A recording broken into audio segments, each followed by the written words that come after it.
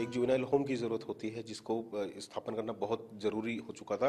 और इसी की कड़ी में इसके चलते हमने यहाँ पर आज जुवेनाइल होम का इस्टेब्लिशमेंट किया है, इसका उद्घाटन किया है। रेम्बल थाने के अंतर्गत टिकरी चौकी में आता है। और जैसा कि आपने यहाँ पर सुविधाएँ देखी हैं और एक माहौल देखा है बेसिकली यहाँ का एम्बियंस जो है ऐसा कोई नहीं है कि कोई पुलिस थाने जैसा हो। या तो उनको डराना है, या तो किसी चीज़ से उनको परावृत करना है।